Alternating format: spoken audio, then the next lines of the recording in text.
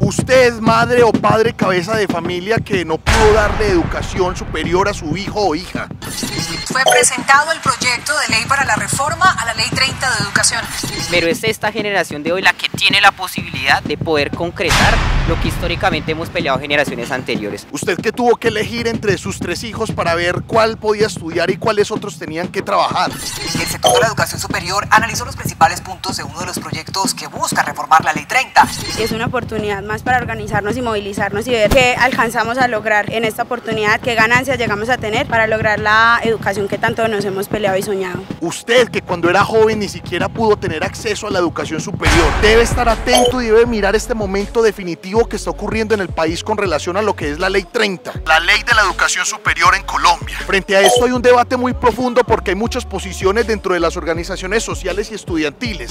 Y nuestra responsabilidad no es simplemente responder a lo que nos plasma el gobierno, a los tiempos del gobierno, sino que responder también a los procesos que nosotros estamos generando.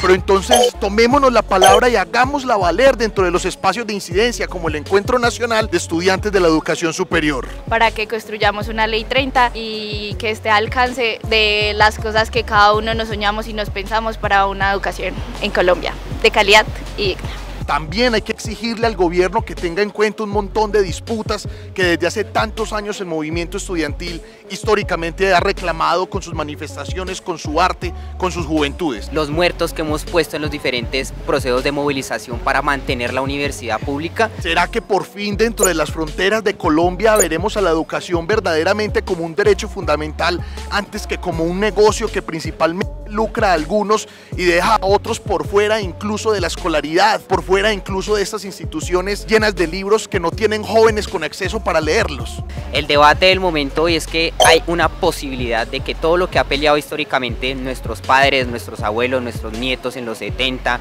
en los 2000, en el gobierno de Uribe, por garantizar un derecho, un acceso a la educación, para que la mayoría de la clase trabajadora tenga posibilidades de ver, de atisbar otro futuro distinto, esta es una posibilidad en ese escenario. Vamos a escuchar qué dicen algunos de los estudiantes aquí en la Universidad de Antioquia, sobre todo pensándonos en que usted como estudiante, en que usted como profesor o profesora, en que usted como administrativo haga parte de la construcción de lo que es el encuentro nacional de los estudiantes de educación superior.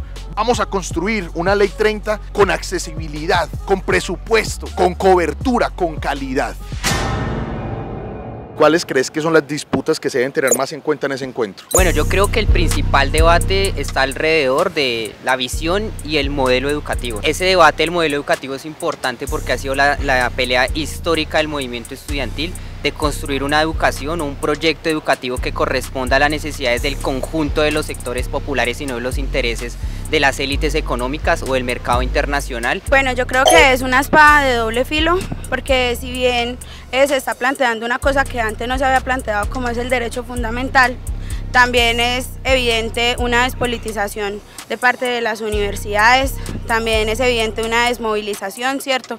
Eh, viendo el panorama nacional, hablando con distintas IES, se ve la carencia de asambleas eh, de estudiantes, entonces creo que es un arma de doble filo y creo que justamente ahí es donde tenemos que empezar a organizarnos para tomar verdadera incidencia y construir eh, la que queremos, no simplemente delegar a que eso lo hagan otros actores. Otros pues nos han reprimido, otros nos han eh, de alguna u otra forma estigmatizado, sacado los ojos, criminalizado. Este digamos que directamente no lo ha hecho, pero también de alguna u otra forma no ha permitido que el movimiento estudiantil se construya de base y simplemente solo responder a una reforma no es la idea desde la articulación que vamos a tener como regiones que ellos plantean, pero desde articulación regional, nacional, pero qué enfoque le queremos dar a la regionalización y a la internacionalización, que es una base que pretende el gobierno poner ahí como súper suave, que es un tema que estamos como dejando pasar muy de lado. Tiene que ver también el debate de autonomía y democracia. Estamos hablando de que la universidad se tiene que construir a través de los actores a los cuales va posibilitado ese espacio y si esa educación no, no está inmersa en las decisiones propias de los actores universitarios y también de las mismas comunidades a las cuales tiene que ir a ayudar a solucionar los problemas estructurales que hoy tiene el país, va a ser muy difícil que ese proyecto educativo pueda transformar y apostarle a lo que Petro en teoría quiere, que es un proyecto del cambio. ¿no? Pero que realmente también ha, ha hecho que el estudiantado con este nuevo gobierno eh, se encuentra en constantes disputas si es, si es un momento histórico o no es un momento histórico, si realmente las reformas cambian una estructura eh, de modelo económico, político, social o no cambian nada. Eh, ¿Vos crees que las cambian o no? No, nosotros realmente, por ejemplo, desde las diferentes posiciones acá y desde lo personal sentimos que puede de alguna u otra forma traer beneficios particulares, puede traer beneficios en alguna medida poco asistencialistas a las universidades públicas, pero una estructura política, social, económica no se cambia por medio de una reforma. Esos son procesos grandes, son procesos de construcción nacional. También me parece muy importante la parte de bienestar y el bienestar va acompañado de la financiación, matrícula cero para quién, para qué estrato, si es para todos.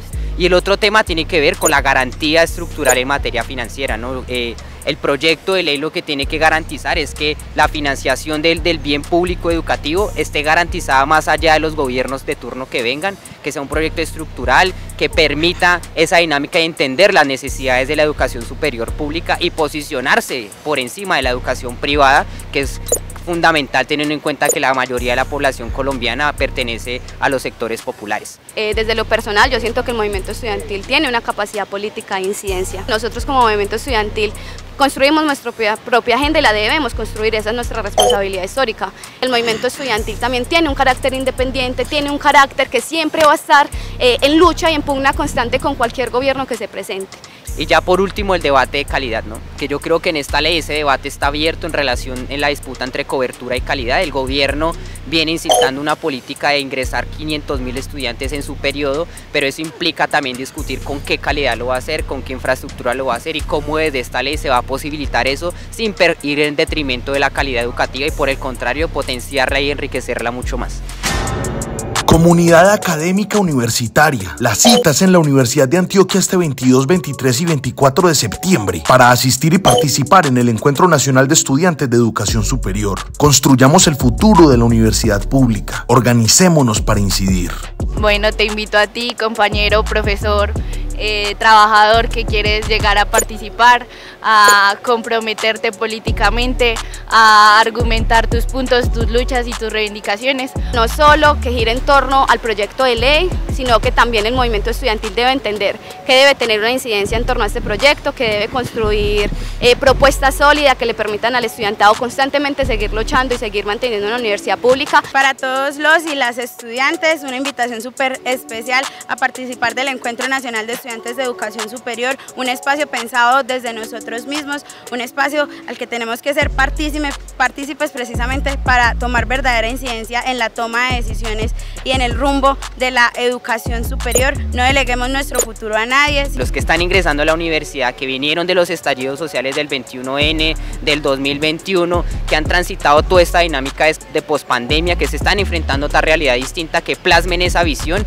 en esta construcción eh, del movimiento estudiantil. Nosotros, eh, diferentes sectores dentro de la Universidad de Antioquia, le apostamos a que el estudiantado de base participe, se organice, se politice, construya activamente dentro del movimiento estudiantil. Estos espacios nos fortalecen, nos cualifican y nos permiten al estudiantado seguir en pie de lucha y seguir luchando por la universidad pública.